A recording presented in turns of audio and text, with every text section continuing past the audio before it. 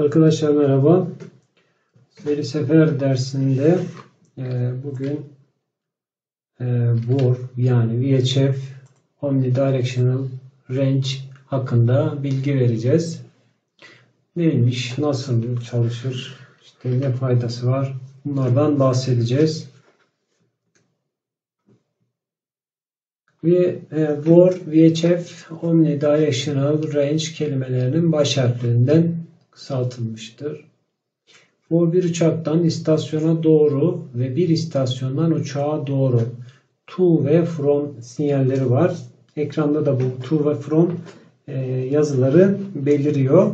Yani siz to ne demek? Ona, from ondan demek. E, yani buradan ne anlıyoruz? E, ona doğru veya ondan uzaklaşma durumu varmış manyetik bearing bilgisini sağlıyor. Magnetic bearing de hatırlarsanız uçağın e, istasyona olan e, manyetik e, açısını veriyordu. E, tam olarak derece olarak vericinin yönünü gösteriyordu uçakta. Omni kelimesinin anlamı bor istasyonunun her yöne sinyal gönder gönderdiği anlamına gelir arkadaşlar omni olduğu için hani biliyorsunuz bir de bizim yönelticiliğimiz vardı. Yöneltici sinyallerimiz var. Ee, o, o directional antenlerdi. Omni dediğimiz zaman yönel e, şey yönü yok. Her yöne e, sinyal gönderiliyor demek arkadaşlar.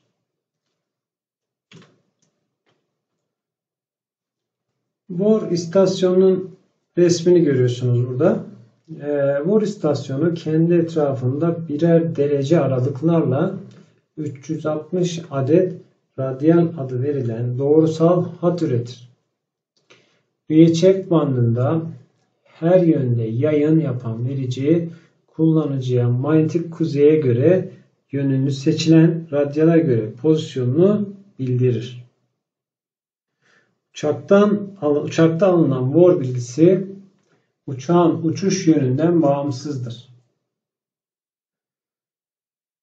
ADF sistemindeki gibi uçak başını ADF istasyonuna yöneltmek amacına hizmet etmez. Uçağın e, kuzeye göre manyetik bearing'i açısını veriyor arkadaşlar. Sadece pilota uçuş esnasında yön bilgisi verir. Bakın burada bir VOR istasyonunu görüyorsunuz. 360 derece her yönde e, sinyal gönderdiği için birçok antenden oluşuyor. Her bir anten farklı zamanlarda farklı e, uyarım genlikleriyle veya fazlarla, faz farklarıyla uyarılarak havaya farklı sinyaller gönderiyor bu bütün e, sinyallerin birleşimi de belirli yönlerde istendiği, istenen sinyallerin karşı taraftan alınmasını ve gönderilmesini sağlamış oluyor. Borun çalışma prensibine bakacak olursak bor istasyonunun yayınladığı sinyal bir taşıyıcı dalganın 30 Hz değerinde birbirinden bağımsız ancak aynı anda iletilen iki dalga tarafından modüle edilmesi prensibine dayanıyor. Referans işaretler 30 ref dediğimiz fazı değişmez her yönde sabit sinyallerdir. Bu üstteki resimdeki gibi burada e, size derste anlatırken suya atılan taş gibi söylemiştik suya atılan taşın etrafa her yöne aynı şekilde su dalgalanması yaptığını ve bu dalgaların suyun e, merkezden e, atılan yerin merkez kabul ederek merkezden dışa doğru yayıldığını söylemiştik. Bu referans işareti olmuş oluyor. E, bunun dışında değişken işaret, variable değişken demek. Yayılma yönüne bağlı olarak ve fazı yayılma yönünde olacak şekilde değişir. Alttaki D değişken işaret olmuş oluyor. Bakın 1, 2, 3, 4, 5, 365'e kadar, 360'a kadar bir turu tamamlamış oluyor. Sıfırdan başlayarak. Bu sayede bu sinyali alan 4 dereceden geldiğini bilmiş oluyor arkadaşlar. For sinyalinin yapısına bakacak olursak manyetik kuzey manyetik kuzeyde bakın e, faz değeri 0 tam sıfırda. E, bir miktar sağa 45 dereceye kaydığımızda olması gerektiği yerden 45 derece daha sol tarafta. 90 dereceye geldiğinde 90 derece 135 ee, derecede görüyorsunuz. Bakın 180 derecede tam tahmin ettiğimiz gibi olması gerekenin 90 derece gerisinde tam olmuş oluyor. 180 e, şey bir faz tam 180 derece faz farkı olmuş oluyor. Bakın şurada mesela artıdayken tam ekside de gerçek sinyal bulunuyor. Daha sonra yine aynı şekilde 300 300 işte 270 225 315 360'a kadar aynı şey dönüyor arkadaşlar.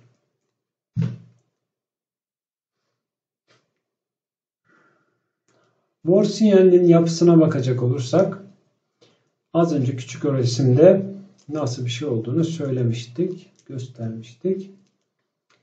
Şimdi e, sinyal bakın buradan gönderiliyor. Referans fazımız var. Referans fazımız burada. Tam sıfırda gönderilmiş oluyor. Referans gidiyor, gidiyor uçağa çarpıyor. Uçağa bu çarptığı sırada işte bizim e, variable fazımızda bir süre sonra havaya gönderilmiş oluyor. İkisinin arasındaki farka bakılıyor. Tam karşınızdaysa kuzeyden tam karşıdan yaklaşıyorsanız kuzeydeyse tam e, verici. Şununla şu yani şurasıyla şurası tepe noktaları ve dip noktaları tam birbirinin üzerinde olur. Buradaki gibi buranın bir tanesi ve şey, referans fazının tepe noktası variable fazın dip noktasına denk geliyorsa 180 derece faz farkımız vardır demektir. Yani orayı ters yönden yaklaşıyorsunuz demektir.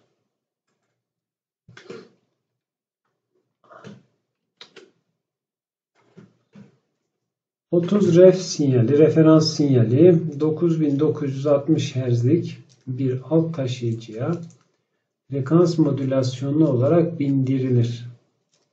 Bu frekans modülasyonu dediğimiz e, taşıyıcı sinyalin frekansını e, gönderilmek istenen mesaj frekansıyla bozmak anlamına gelir. Buradaki bozma olayı aslına bakarsanız e, sinyalin tamamen bozulması değil frekansının oynaması anlamındadır. Bu alt taşıyıcıda frekans değeri 108-118 MHz arasında değişen ana taşıyıcıya genlik modülasyon olarak e, bindirilerek bir başka verici anten vasıtasıyla boşluğa gönderilir.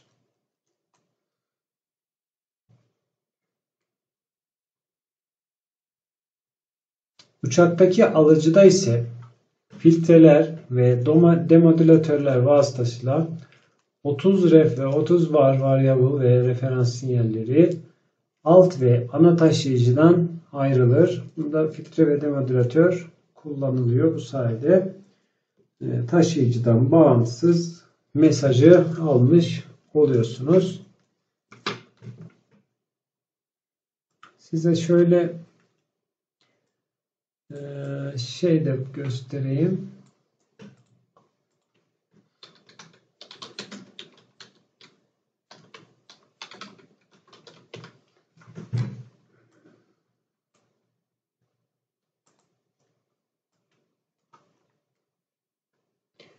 Bakın e, şu frekans modülasyonu şu da e, genlik modülasyonu sinyali.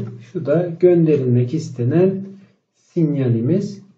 Gönderilmek istenen sinyal Bakın şu frekanstaki bir e, sinyali taşıyıcı sinyali genlik modülasyonunda üzerine binerek bakın genliği değişiyor. Sıfır eksi noktasında sıfıra yakın bir şey oluyor. Tepe noktasında tepeye yakın bir sinyal elde edilmiş oluyor. Şuradan şuraya belki 10 volt, şuradan şuraya belki 1 volt gibi bir e, sinyal gönderilmiş olabilir. Bununla birlikte frekans modülasyonunda iş birazcık daha farklı. E, burada taşıyıcı sinyalin frekansı gönderilen sinyalle tepe noktasında e, frekans arttırılıyor dip noktasında frekans azaltılıyor. Bu sayede böyle frekans modülasyonu yapılmış oluyor. Bakın şuradaki frekanslar yüksek, şuradaki frekanslar ise alçaktır.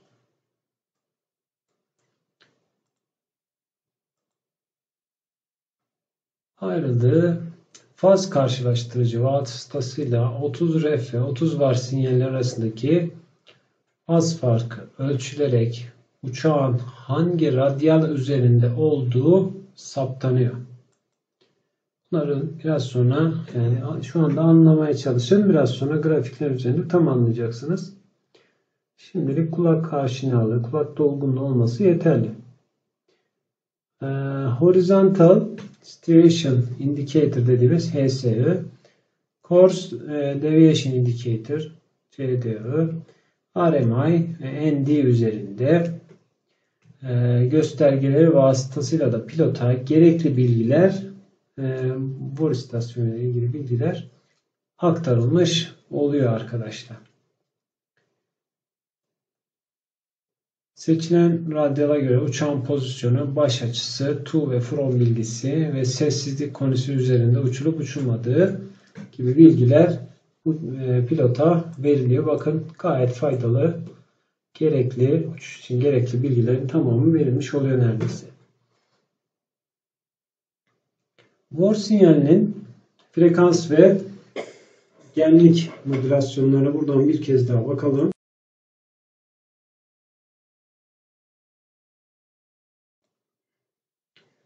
Ana taşıyıcı frekansımızın üzerine maksimum genlikte frekans artışı sağlanıyor. Minimum genlikte ise frekans azalması gördüğünüz gibi sağlanıyor arkadaşlar. Ee, amplitüt modülasyonunda da yine yüksek e, değerlerde genlik tepeden tepeye arttırılmış oluyor. Alçak genliklerde ise e, bu genlik azaltılıyor. Bu ikisi birleştirildiği zaman sistemde ise bakın hem frekans modülasyonu var. Şurada frekanslar artmış. Burada az. Burada da e, o tepeden tepeye voltaj değeri de yine düşük. Şurası tepeden tepeye dediğimiz şudur. Vor'un alıcısına bakalım. Vor antenna e, Vor alıcısı var burada. Kontrol display unit var. FM dedektör, AM dedektör, Faz dedektörü bizim için önemli olan bize açı bilgisini veren fazdır. War pointer, e, elektronik flight instrument e, yine bizim sistemimiz içerisindeki şeyler. Çalışma frekansına bakalım. Mor çalışma frekansı ve kanalları 108-117 MHz'lik frekans bandına 0.05 MHz aralıklarla yerleştirilen kanallar şeklindedir.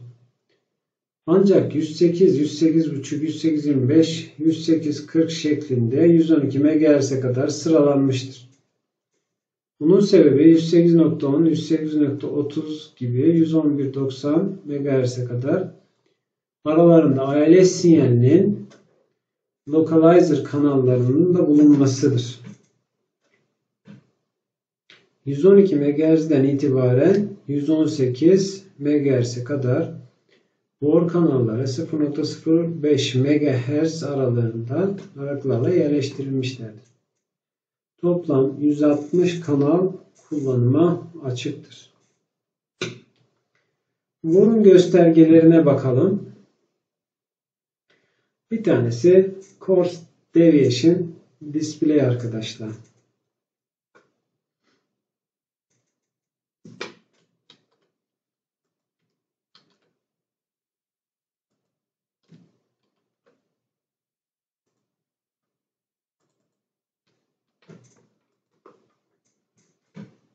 0360 dereceye ka- e, kalibre edilmiş War sapma açısını, seç açısını seçilmiş to ve from referansına göre gösteren döner açısal kadran rotating course card bu war indicator'ın e, aynı zamanda istenen war sapmalarına sinyali sinyal, sinyal, e, sayısal olarak göstererek navigasyon yolunun ayarlanmasını basitleştirir. Şu kadranı arkadaşlar biraz sonra göreceğiz. Bu okların falan döndüğünü. Arkadaki kadranın da hareketinin e, bak şurada Nord yazıyor. Biraz sonra değişecek mesela. Burada Nord sağa doğru kaymış bakın. E, bunu sağlayan kadranımız Course Deviation Indicator'ımız olmuş oluyor. Biraz şöyle kaldırayım. Omni sapma yine geçti. Omni sapma selektörü OBS veya döner e, düğme izlenecek yolu kadranına manuel olarak ayarlar. Şu oluyor. Manuel olarak izlenecek yolu siz sisteme tanıtıyorsunuz. E, gidilmesi gereken yönü okla size ekranda gösteriyor. Yol sapma indikatörü, course devi, e, deviation indicator e, bu iğne sola veya sağa hareket ederek seçilen izlenmesi gereken yolu dönüş yönünü gösterir. gösterir. O yola hangi yönden döneceğinizi gösterir. İğne solda ise sola, sağda ise sağa dönmek gerekiyor demektir. Ortalandığında uçak doğru yoldadır. Yay üzerindeki iğnenin altındaki her nokta istenen yoldan 2 derece sapıldığını gösterir. FAI yazılı e, imtihanında çıktığı e, orası önemli değil bizim için. To ve from bilgisine gelelim. To ve from indicator arkadaşlar.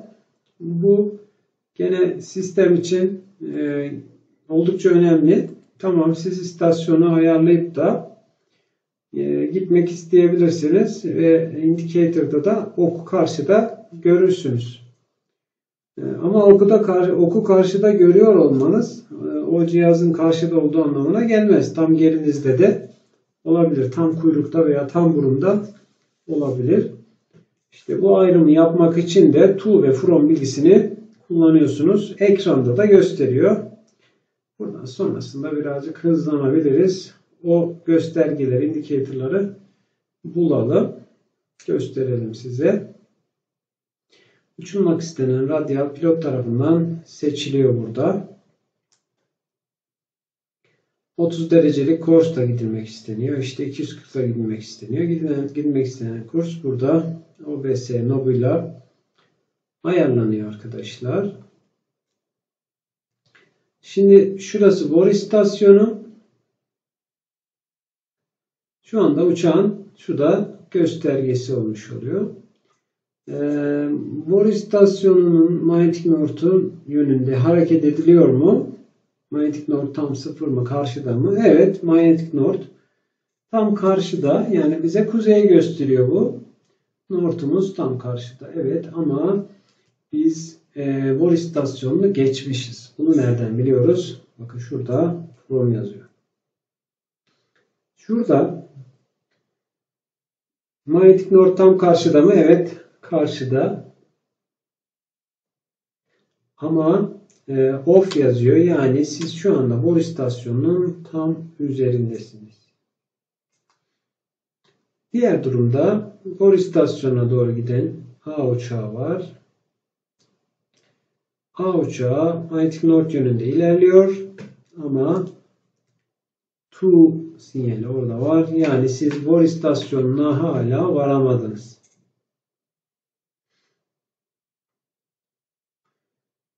Peki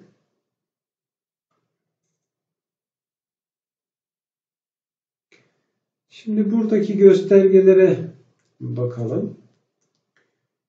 Bakın e, ayarladığımız sinyal 0 derece olduğunu farz edelim arkadaşlar. Tam 0 dereceden e, şeyin mor istasyonunun üstünden tam gidilmek istendi. Yani kursumuzun şu olduğunu farz edelim. E, şundan başlayalım. A uçağı şu anda nerede? Nereye doğru uçuyor? E, VOR'a doğru uçuyor. Öyleyse TU yazacak. Benzer şekilde B uçağı da yine TU yazacak. Şunlar tam off'ta olacak. Şunlar da from yazacak. TU ve from'u anladık. Peki. Şuradaki göstergeler ne? Bakın. Siz işaretlediğiniz yer uçağın sağında kalıyor diyor. İşaretlediğimiz yer uçağa göre sağda kalıyor. Uçağın gitmesi gereken yer sağ. Sağa doğru uçak giderse bu açı giderek daralır ve tam düz bir şuradaki gibi çizgi halini alır. Bu da diyor ki gidilmesi gereken yer solda kaldı. Sen fazla sağa geldin. Benzer şekilde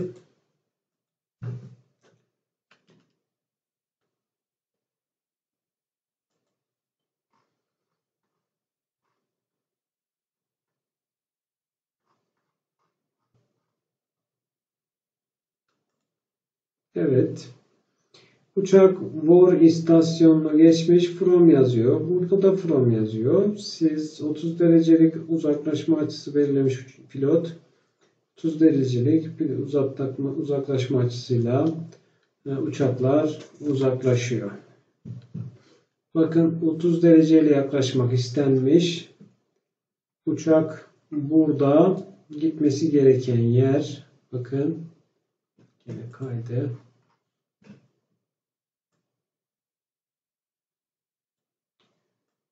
Şöyle yapsak öyle de olmuyor. Peki şuradan devam edelim.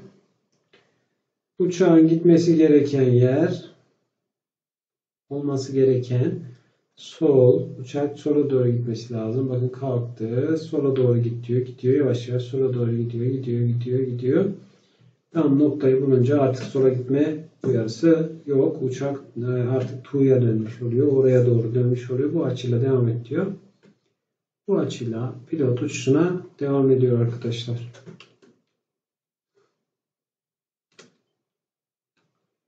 Horizontal Station Indicator'daki durumda yine ona benzer mantığı kavradıysanız aynı durumu burada da çözersiniz. Radyomanyetik Indicator'da da yine durum aynı. Şöyle ben kısa kısa ekranda tutayım. Siz pausa basarsınız. Yazıları okumak için. Şuradan tekrar bakalım. Radyo navigasyonda yine bakın bilmesi gereken rotadayız.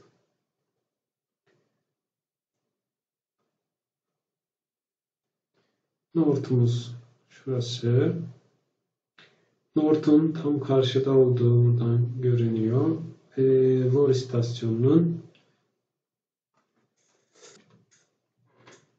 60 ee, derecede olduğu buradan görünüyor. Mor istasyonuna 0 dereceden yaklaştığımızı görüyoruz. Mor istasyonunun kuzeye göre 30 derecede olduğunu işte diğerlerinde gene görebiliyoruz arkadaşlar. 300 derece tabi 30 değil. Hmm, Endi üzerindeki göstergesine bakalım. Bakın şurada bir 2 dediği bir şey var. Ondan bahsedeyim. Lateral deviation bar, sapma barı Şöyle baktığınızda artık anlıyorsunuzdur. Uçak gidilmesi gereken rotanın neresinde? Sağında kalmış. Sola gitmesi mi gerekiyor? Evet sola gitmesi gerekiyor. Şu anda istenen sola gitmesi. Uçaktaki ekipmanlarımız bunlar.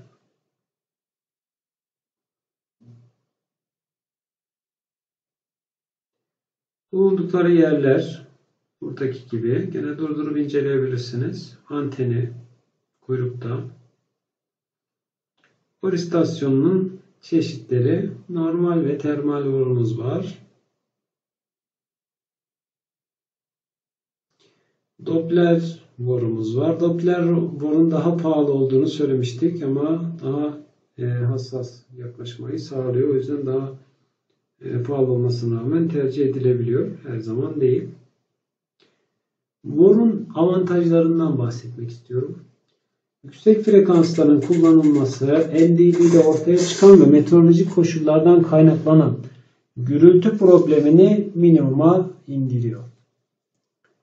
Uçak bordrosundaki bordosundaki teçhizat basit.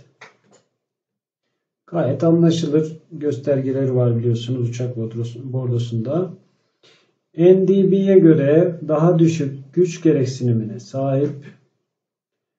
Sistemin hata toleransı çok daha düşük. 5 derece gibi hata toleransımız mevcut. Bununla birlikte e, dezavantajları da var maalesef. Vericinin yerde kurulma zorunluluğu var. Büyük bir verici kuruluyor. Direkt dalgaların iletimde e, hakim olması dağların maskeleme etkisini etkisini getiriyor. Yani e, gör görüş e, hattında olması lazım sinyallerin ve uçağın. E, araya dağ girdiği zaman sinyaller maalesef kesiliyor arkadaşlar. Vericinin gönderdiği sinyallerin alınması irtifaya bağlı oluyor. İrtifanın karesiyle e, irtifa ile birlikte e, sinyaller ciddi şekilde azalıyor. Bugün de boru anlattık. Daha sonra yine görüşmek üzere arkadaşlar.